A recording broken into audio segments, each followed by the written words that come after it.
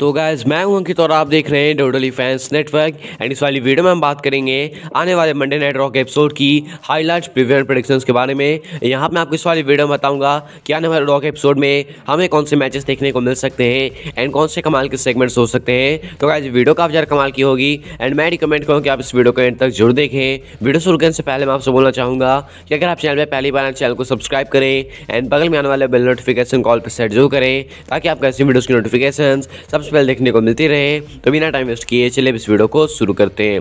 अब गाय यहाँ पे आप सबको पता है कि पिछले मंडे नाइट रॉक एपिसोड में मैच ऑफिशियल हो गया था, जो कि एक ट्रिपल हेट मैच था। एंड ये वाला जो मैच है होने वाला एज स्टाइल्स की थी और फिर गाइस मैट ट्रेडर के बीच में।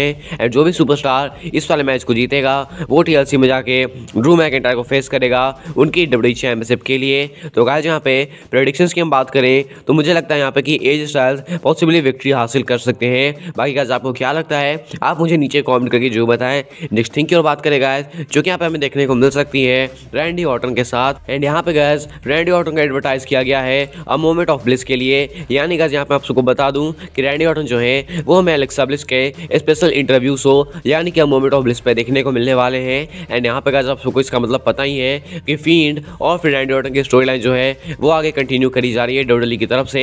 तो पॉसिबली यहाँ पे फ़ील्ड ब्रेव आर्ट हमें देखने को मिल सकते हैं। तो शायद से ऐसा हो सकता है। बाकी आपको क्या लगता है? अ मोमेंट ऑफ़ ब्लिस में क्या होना चाहिए, क्या नहीं होना चाहिए, वो आप मुझे नीचे कमेंट करके जो बताएँ। हम नेक्स्ट एंड फाइनल थिंक की बात करें गाइस जो कि यहाँ पे हमें देखने को मिल सकती है न्यू डे की तरफ़ से एंड यहाँ पे हमारे current Raw tag team champion से न्यू डे तो गाइस यहाँ पे इनके अपोनेंट का पता लग सकता है हमें टीएलसी के लिए, कि आखिर टीएलसी में कौन फेस कर सकता है, कौन चैलेंज कर सकता है रॉ टैग टीम चैंपियनशिप्स के लिए। बाकी गाइस ये कुछ चीज़ें हैं जो कि हमें देखने को मिल सकती हैं आने वाले रॉक एपिसोड में। आपके थॉट्स क्या हैं? आपको क्या लगता है कि आने वाला मंडे नाइट रॉक एपिसोड कैसा जाने वाला है? एंड आप कितने ज़्यादा एक्साइटेड है मोमेंट ऑफ़ ब्लिस के सेगमेंट के लिए, वो भी आप मुझे नीचे कमेंट करके जो बताएँ। एंड अगर आपको वीडियो पसंद आई हो तो इस वीडियो को लाइक करें, अपने फ्रेंड के साथ शेयर करें मोस्ट इंपॉर्टेंटली चैनल को सब्सक्राइब ज़रूर करें। बाकी इस वीडियो के लिए था। मिलता है फिर काफ़ी इंटरेस्टिंग वीडियो में।